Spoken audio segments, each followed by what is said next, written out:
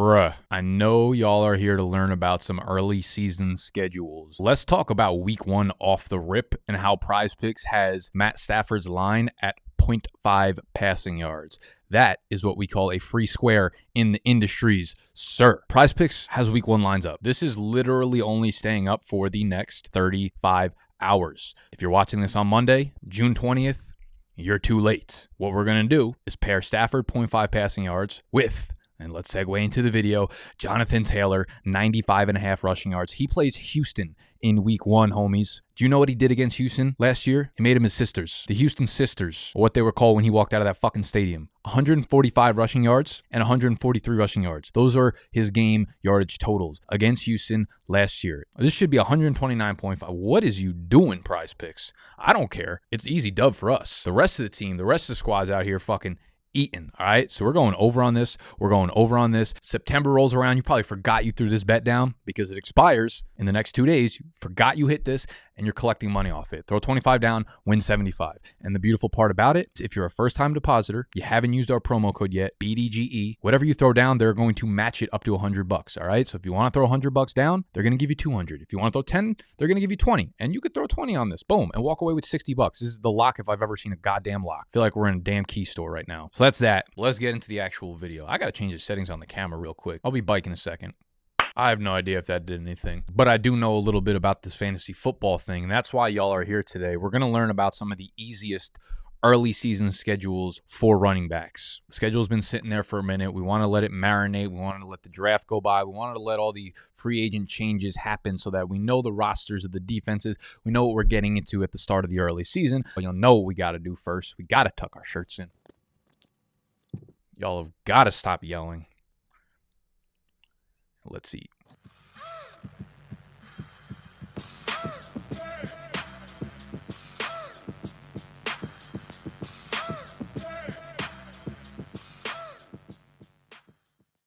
First up on this list, we're just going to parlay, no pun intended, that prize picks parlay into our first team, and that is the Indianapolis Colts we see they got Houston in week one, Jacksonville, KC, Tennessee, Denver, Jacksonville again. So they get to play against Jacksonville twice in the first six weeks. Against Houston, sure, there's going to be improvements along a lot of these offensive or defensive lines. There's going to be improvements. A lot of everyone says every team gets better every single year. It doesn't happen. A lot of these teams stink. So as I said before, Houston last year, JT had two games against him, 143 and 145 on the ground. I'm telling you, man, you want to talk about regulations in the gambling space? The fact that Prize Picks was allowed to put that lineup to just give away money to y'all, you love to see it. So KC, Tennessee, Denver are all mediocre run defenses. Tennessee was pretty good last year, but I don't expect KC or Denver to be anything like super special. So I would say JT's got a beautifully easy slate to start off the year. Those first two games, he might pop off for 350 total yardage there, and you just love to see. There's no real actionable takeaway here because JT's the 101 regardless, and we're not doing anything about it. Let's move on a little bit, and we're going to see a little bit of a theme for the next two, and that is basically the NFC East because the teams in the NFC East kind of stink. So when you get to play against stinky teams, you get a stinky schedule, and that's good for the running backs. Now, the Washington Commanders, I've been on record about how much I do not like the idea of drafting Antonio Gibson this year. I want to stay away from him like he's the herpes, man. I just don't want that man scrounging in my lineup. I don't want him in my bed. I don't want him anywhere near me. But it's hard to argue against the early season schedule here, man. What this looks like to me is a super beautiful sell high target early in the year, okay? because I got two concerns, right? It's JD McKissic taking the pass catching work. We haven't seen them give that to him yet. And then it's Brian Robinson taking over some early down work, which he's not he's not really able to afford giving away any work at this point in his lackluster start to his NFL career. And Brian Robinson is going to be a little bit annoying. Maybe he takes goal line work. But for the most part, if we're going to be objective about rookie running backs, they don't tend to contribute much until the second half of the season. So this kind of works in a lot of different ways for Gibson in the fact that if you do end up drafting him, he should be an easy trade piece for you, and he should perform pretty well at the beginning of the year. I mean, they start off with Jacksonville, they start off with Detroit, Philadelphia, which will be a much improved run defense, Dallas, Tennessee, Chicago. You're looking at basically four of their first six matchups are against bottom five run defenses. And by the way, this run defensive rank is per PFF. This is their premium grades. They do a premium grade for run defense, pass defense, overall defense, like coverage specifically, offensive line blocking, uh, offensive line pass blocking, run blocking, whatever. So this is their run D rank from last year. And again, I know there will be defensive shifts, but the overall theme of these schedules are that this is a really, really good one from Washington. So if you want to draft him and then trade him after week six, you've got that shit queued up for Antonio Gibson. Same thing with Mr. Miles Sanders. Again, an NFC East combatant with him. Starts off with Detroit, the single worst run defense in the NFL last year. Minnesota was bottom 12. Washington was really, really good. Remember when we went into the year last year expecting Washington to be an absolute like elite defense and they were just terrible for no reason? Their run defense was awesome over the last like, you know, the first quarter of the year was probably bad and people got that in their heads, but after that their run defense was amazing. So I expect them to be really, really good. But after that, Jacksonville, Arizona, Dallas, all shitty run defenses. Okay. So you're looking at five of the first six matchups against bottom 12 run defenses for Miles Sanders. Can this be a committee? Maybe.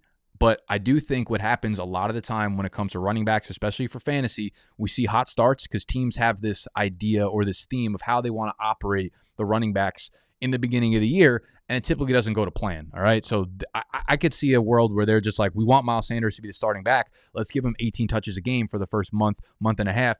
So for me, it's hard to be in love with Miles Sanders at this point. He hasn't put anything together. He's shown us flashes, and you want to say, like, oh, he had zero touchdowns last year positive regression. It's like, yeah, he had zero touchdowns last year because they gave other backs goal line work, and Jalen Hurts got a lot of the goal line work. Like, there's a reason why he. It wasn't just unfucking lucky. How many goal line carries did he have? It wasn't 15, 20. It wasn't top five in the league in goal line carries. He just wasn't good at scoring them when he did get them, and they gave him away to other players. So I think Miles Sanders could start off very, very hot, and he could be a potential sell high opportunity guy. And if you look on Prize Picks right now for Week One, they've got a Miles Sanders lineup, 59 and a half rushing yards, Week One against Detroit. I kind of like that because Miles Sanders is a big play guy. When he's healthy, he's been able to rip off 50, 60, 70, 80 yard runs off of one carry. And Detroit's a really shitty run defense. So I like that. I like Sanders starting off a little bit hot and then being able to sell him afterwards. On the flip side of things, we have the Houston Texans, who are probably not going to start off hot because they play against the Indianapolis Colts, which were one of the best run defenses in the NFL last year. They have speedy linebackers. It's tough to run against a team like that with those quick linebackers. So I expect them to str- struggle pretty heavily outside the gate. But after that, they've got Denver, Chicago, the Chargers, Jacksonville, a bye, Las Vegas. So the schedule eases up a ton right here. And I guess the takeaway here is like you're not going to be able to start any of the Houston Texans running back, but don't panic immediately, right? Listen, I, I love Dameon Pierce, but I also like Marlon Mack. If Dameon Pierce starts going in like the eighth round and Marlon Mack is a 15th round player, like, forget about Rex Burkhead. There ain't no fucking chance Rex Burkhead is touching a fantasy lineup of mine this year. But the other two guys I'm intrigued with, okay? And I think the overall notion here would be like, listen, if you want to take a shot at one of those guys later, don't panic right off the rip if they struggle in week one or struggle the first two weeks because the schedule softens up. And I think as we get further and further into the year, you do see guys like Dameon Pierce, rookies, play a little bit more and a little bit more and a little bit more. That adds up well for this little formula here. So nothing to do week one really with this team, but just hold on to them if you do draft them. And the last team or the last group of players on this list would be the Cleveland Browns, man. They get the first five weeks of the season against teams that I am just not scared of. You have Carolina, New York Jets, bottom three run defense last year, Pittsburgh, Atlanta, bottom five run defense last year, and the Chargers, man. So this is kind of a beautiful thing for a few reasons. One, it's just a soft schedule altogether. Two, Cleveland's going to be without Deshaun Watson. So if they were to play again, right, if Jacoby Brissett's their starter, if they're playing against high power teams like Kansas City, and uh, obviously the Chargers are on the list there, but they're the fifth team of that first schedule. If we only stuck to the first month of the season, it'd be even more beautiful. If they were playing against teams like Kansas City or even more high scoring teams, you know, ones that will perpetually put up 30 points a game, Tampa Bay, shit like that, I'd be more nervous. But these are teams where even if Jacoby Brissett is the quarterback and they're putting up 20 points a game, none of those teams, Carolina, the Jets, Pittsburgh, or Atlanta, are going to run a game script away from Nick Chubb. Like Nick Chubb's obviously a guy where if they get down, they're putting Kareem Hunt on the field. That's even if, you know, at this point, this might be a cold take, but Kareem Hunt could get traded. That would obviously be huge for Chubb. But none of those teams in the first four games are going to run a score up on Cleveland, which means Chubb is going to be able to stay on the field for four quarters as well as play against a team with shitty run defenses for four quarters. Obviously, Pittsburgh is not a shitty run defense. Carolina's improved on the defensive side of the ball, but overall, again, not any teams that I'm really nervous about having my fantasy players start against. Okay. So just want to get this quick video out there for y'all. Make sure you know which running backs we should be targeting early, which ones we should be looking to trade off when they do have early success. A few different directions I can go from this. Do y'all want to see me do this with wide receivers? Do you want to see me do the flip and say, you know, the, the worst schedules early on in the season, maybe some um, some trade target opportunities based on the first month or six weeks of the uh, the season, all that kind of good shit. We are going to do a bunch of stuff like that going forward. So let me know which ones you want me to prioritize, and then subscribe to the channel if you're new, because obviously you will see those videos rip off. And make sure you go take advantage. People, please, it's free money. Go take advantage of the Prize Picks 0.5 line right now for Matt Stafford and these things expire. All right. This is 36 hours left from when I'm filming this fucking video. Okay. Which means you got to have notifications on. They put these lines up randomly.